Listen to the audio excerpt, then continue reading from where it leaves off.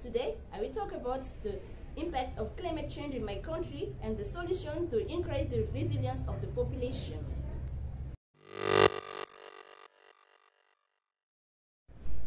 Cyclone, floods, and drought are becoming frequent and intense.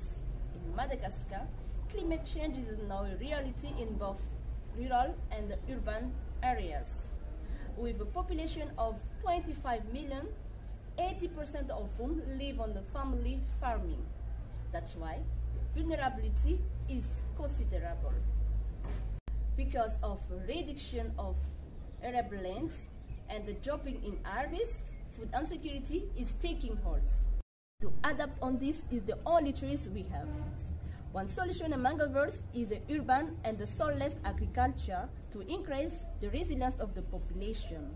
This type of agriculture does not require a lot of space and guarantees the food self-sufficiency for the family.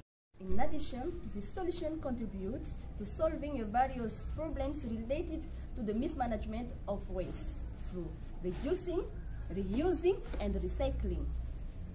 The green planet is possible, but the green touch must start in the garden of each household. Elisah Nahavitatsara on Climate Red TV, report from Madagascar.